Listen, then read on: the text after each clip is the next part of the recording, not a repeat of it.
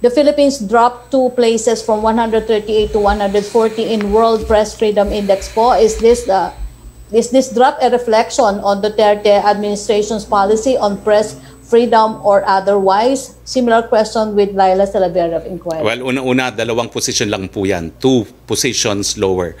De minimis po yan. Wala masyadong ibig sabihin. Pangalawa po, sa buong ASEAN, pang-apat pa rin po tayo. No? We are ahead of Myanmar, Cambodia, Brunei, Singapore, Laos, and Vietnam.